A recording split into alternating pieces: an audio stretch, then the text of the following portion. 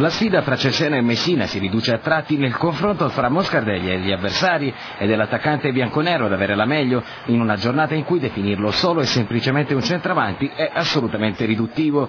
Fra i giallorossi manca ancora Biancolino, ma torna Capitan Parisi. Bavassori fa esordire dal primo minuto il portiere brasiliano Arthur, ma non può contare sul neoacquisto Paolucci squalificato e tiene in panchina l'altro nuovo arrivo Gennaro Esposito. Pronti via ed è subito gol. Moscardelli parte verso la porta di Petrocco Pestrin prova ad intercettarlo, l'attaccante cade in aria e per il signor Marelli non ci sono dubbi, è calcio di rigore. Le immagini mostrano il contatto fra i due, è certamente un rigore conquistato d'esperienza da parte del centravanti bianconero che con la gamba di richiamo tocca Pestrin. Dal dischetto ci va proprio l'ex attaccante del Rimini e non sbaglia, il suo undicesimo gol in stagione, quello che dopo neanche due minuti dal fischio d'inizio regala al Cesena una gara tutta in discesa. È solo l'inizio della sontuosa prestazione di Mosca che nel corso della gara diventerà la l'autentico spauracchio del Messina, non solo della retroguardia ma di tutti i calciatori in casacca giallorossa, perché nella seconda parte del primo tempo Moscardelli si trasforma da centravanti in uomo assist, in questo caso per Daniele Croce che si trova davanti un attento Petrocco,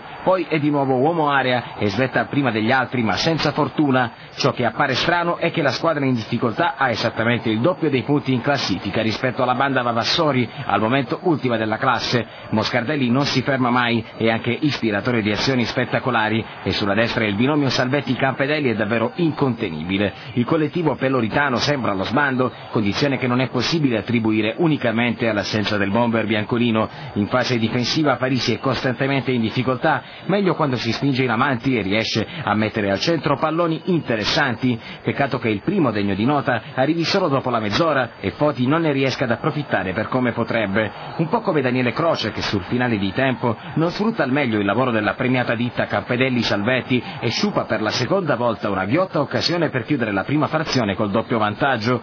Nella ripresa il Messina parte discretamente, usa maggiormente le fasce ma lascia a desiderare quando è il momento di capitalizzare il gioco. Vavassori vuole più attenzione dai suoi uomini, ma i peloritani, anche a causa della scarsa intesa tra Foti e Degano, non riescono a pungere. L'unico ad impensierire la retroguardia romagnola è Cordova. Nel frattempo Daniele Croce resta coerente con i suoi primi 45 minuti e sbaglia la sua terza grande opportunità della gara per assicurare ai suoi il raddoppio. Chi è sempre vivo è Davide Moscardelli, che in fase di non possesso diventa automaticamente il quinto centrocampista del Cesena, ma appena ha l'opportunità torna in mezzo all'area di Petrocco alla ricerca della doppietta per festeggiare al meglio a mezzanotte il suo ventottesimo compleanno. I giallorossi provano a far male soltanto negli ultimi dieci minuti e vanno anche vicini al gol, se in qualche occasione non hanno dalla loro la dea bendata, in altre si trovano il brasiliano Arthur, primo portiere straniero nella storia del Cesena, a blindare la porta con attenzione. La banda di Costanzo trova così la seconda sconfitta consecutiva dopo lo stop casalingo con la Triestina. Oltre al rientro di Biancolino, il Messina ha bisogno di ritrovare lo spirito giusto. Il Cesena invece lascia finalmente quel pesantissimo ultimo posto e ricomincia a sperare nel futuro. Bavassori adesso può interpretare il girone di ritorno con un po' più di tranquillità e con un Moscardelli così si possono dormire sonni tranquilli. Noi, Davide Moscardelli, il match winner della sfida della Manuzzi per il Cesena, lo abbiamo piacevolmente in collegamento telefonico. Ciao Davide! Buonasera a tutti. Ciao Davide, innanzitutto complimenti. Senti, al di là della tua solita ottima prestazione, perché ormai ci hai abituati a tutti bene, sei anche arrivato a 11 gol, oggi forse si è visto uno dei migliori Cesena della stagione, anche se non siete riusciti a chiudere il risultato. Ma sì, sicuramente, anche ne soprattutto nel primo tempo abbiamo creato molto, siamo stati anche eh, fortunati e anche sì, bravi eh, a sbloccare subito il risultato, poi abbiamo creato anche altre palle gol abbastanza importanti, eh, sia anche di testa, anche croce, eh, quindi abbiamo creato tanto, sì, dovevamo essere un po' più cinesi, ma l'importante era la vittoria, quindi siamo contenti per questo. Ciao Davide, complimenti e mi permetto di essere credo il primo a farti gli auguri, so che domani è il tuo compleanno, grazie, 28 grazie, anni. Sì. Ti chiedo, no, la domanda è al, non solo al centravanti, questo lo sapevamo nel girone d'andata, ma al trascinatore e al leader di questa squadra. Quanto senti tuo in questo momento il Cesena? Come scusa, non ho capito. Quanto senti tu alla squadra? Cioè ti ho visto oggi una prestazione Ah, non sì, soltanto da sì. No, centravanti, ma... eh, ma sappiamo che la nostra è una situazione un po' particolare, quindi c'è bisogno di sacrificio eh, di tutti, quindi eh, io penso sia un giocatore importante, ma leader eh, mi sembra un po', un po' grande, però cerco sempre di dare una mano eh, alla squadra anche in difesa, anche perché sono un giocatore a cui piace eh, variare molto il gioco, non essere solo fermo lì davanti, essere più partecipe in tutte le azioni, anche quelle difensive quando serve.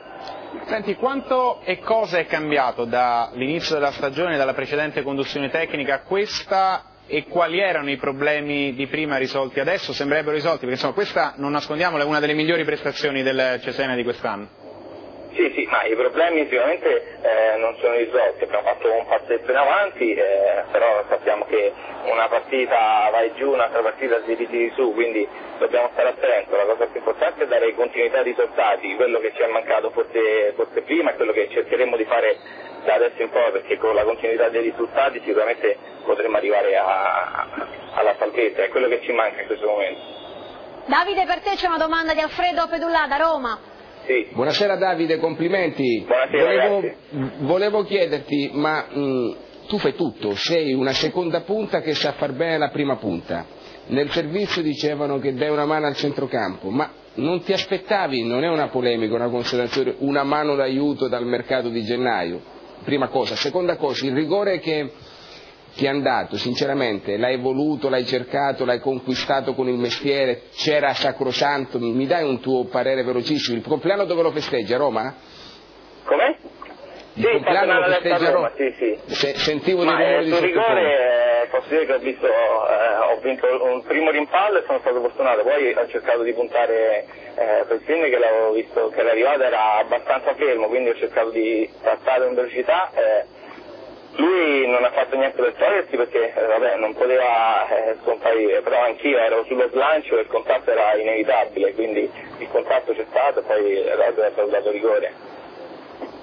Ma per quanto, quanto riguarda eh, il tuo sacrificio tattico, insomma fai tutto tu, si- ti muovi su tutto il fronte, mi sembri da doppio ingaggio e domani parleremo col Presidente del Cesena, perché insomma, mi sarei aspettato dal mercato di gennaio una mano d'aiuto per te.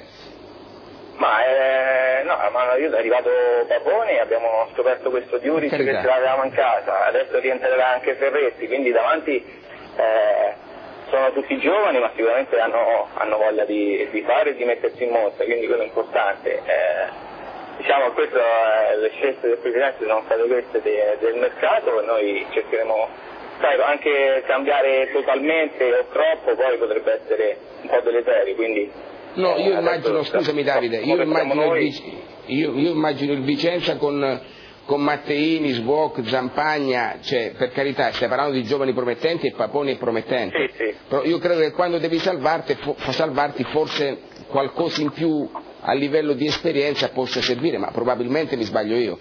Ma questo sarà, sarà il campo e saranno i risultati a dirlo. Esatto. Sicuramente eh, ci sono squadre che si sono rinforzate prendendo giocatori anche po' più di esperienza, quello sì. eh, la nostra situazione, come siamo adesso, siamo convinti, sappiamo una situazione che, che è particolare, che sarà difficile, ma eh, il nostro impegno sarà sempre, quello, sarà sempre al massimo, l'abbiamo dimostrato oggi. Grazie. Davide, ti ringrazio. Io voglio- in chiusura ti voglio chiedere una cosa. Tu hai fatto benissimo anche negli anni che hai trascorso a Rimini con il conducatore Leonardo Acori, però a livello realizzativo sembri essere tornato quello dei tempi di Trieste, sbaglio? Ma eh, no, i numeri dicono quello, sicuramente quest'anno eh, per esempio era due anni e mezzo non facevo più di tre o quattro partite di seguito, fino adesso le ho fatte tutte, quindi quello più giochi e più prendi eh, condizione fisica, più confidenza con i compagni e con il gol, quindi eh, quello sicuramente è una, cosa, è una cosa in più, più giochi e più hai possibilità di andare in gol, quest'anno sto calciando anche i rigori, quindi la fase realizzativa è un po' cresciuta. Grazie Davide, buon Grazie campionato con il Cesena ovviamente e soprattutto buon eh, compleanno.